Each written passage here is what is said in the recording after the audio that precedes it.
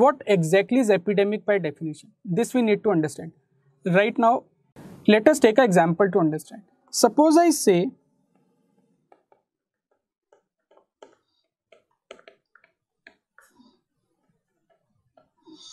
dengue cases in Delhi in the year 2020 is 5000 cases.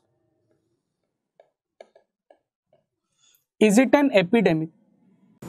If you say yes, I will reduce the number to 4000. If you say no, I will increase the number to 7000. So at which number you will decide it is an epidemic?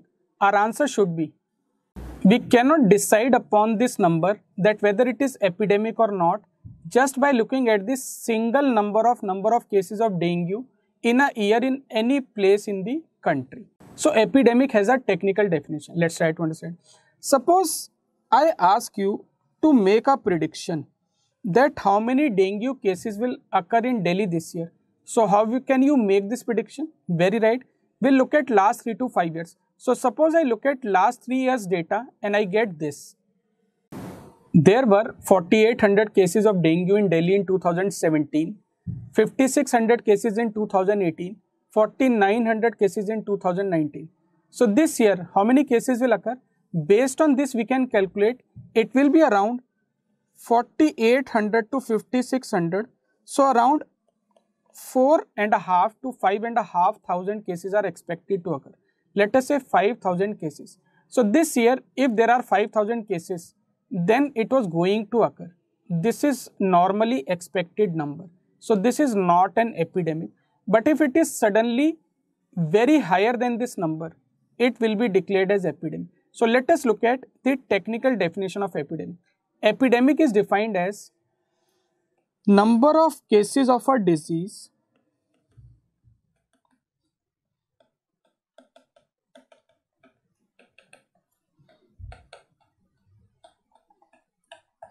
clearly in excess of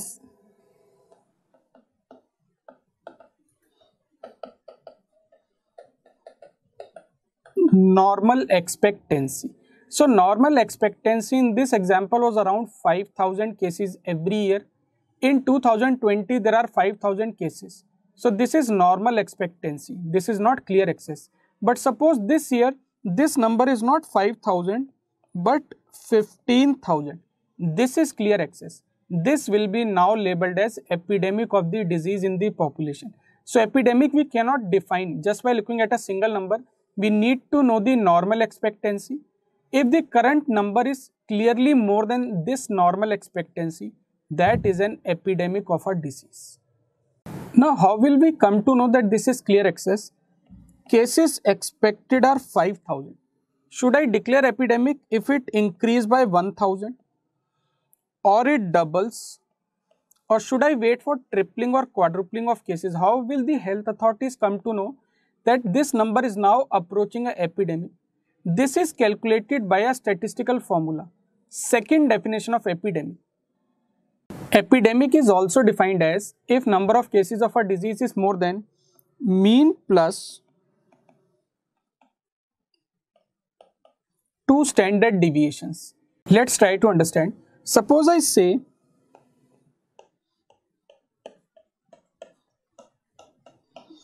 mean number of dengue cases in Delhi is 5000 cases per year. How I have calculated this mean or average?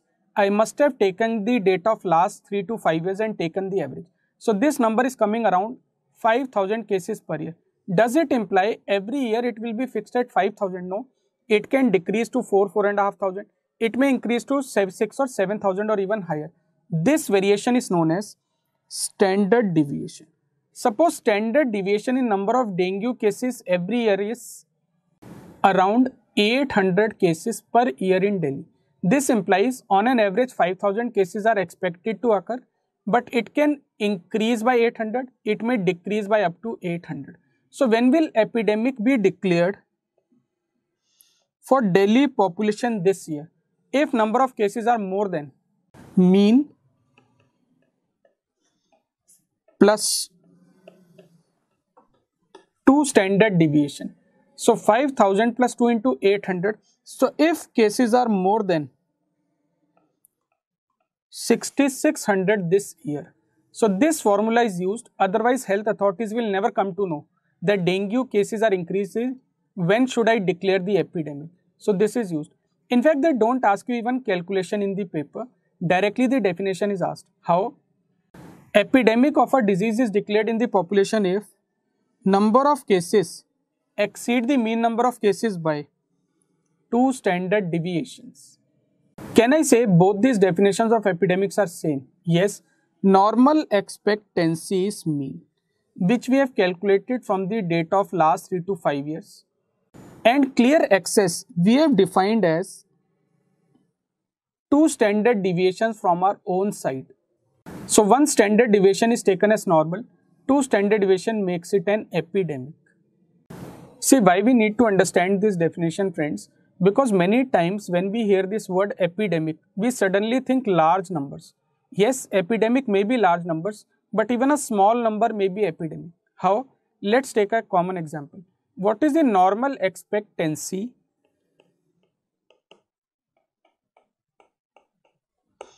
of the disease polio in India right now it is zero because there has not been even a single case in last 9 years. Now suppose this year there is one case of polio in India. So this one case will be called as epidemic, clear excess because normal expectancy was zero. So government will not wait for cases to increase to 10,000. A single case will be labeled as epidemic. So now we come to the third definition of epidemic.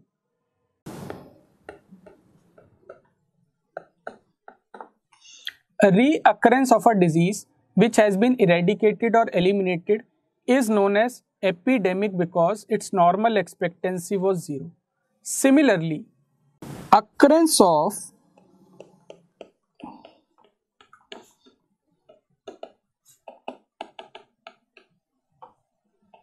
A new disease in a country is also an epidemic because its normal expectancy was zero.